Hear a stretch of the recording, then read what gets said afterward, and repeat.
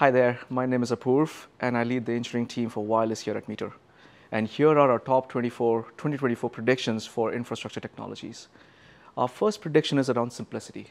I think our enterprise customers will demand more simplicity. They want to move towards cloud-driven models. They want to streamline their network services, just like they did with computing and storage.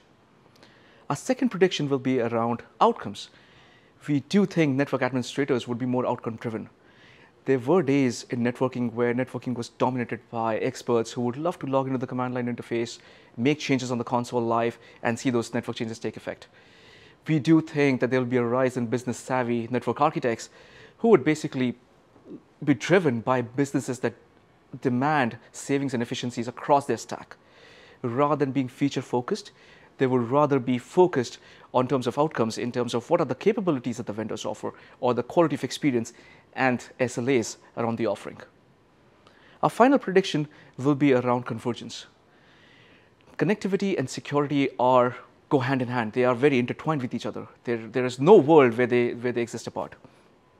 We do think that networking teams will be driven by this and would want security, security to be even more baked in with the networking offerings with the vendor, with the vendor provides.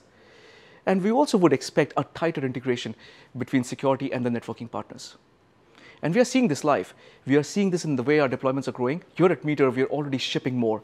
We are, uh, our business is growing at a much faster pace. So this is a true manifestation of the predictions that we are expected to see in 2024.